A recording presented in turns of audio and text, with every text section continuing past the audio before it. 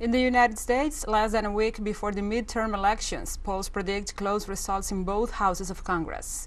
On November 8th, the midterm elections will be held in the United States to renew one third of the Senate, the entire House of Representatives, and several governorships. According to projections in the Senate, out of the 35 seats up for the election, Republicans might win 20, and Democrats are expected to win 12 seats. There are three seats for which there is still uncertainty. In the House of Representatives, the Republicans lead voting intentions to win 212 seats, while Democrats could win 205. These elections are marked by the highest inflation in 40 years, a poor economic recovery after the pandemic, and high political polarization.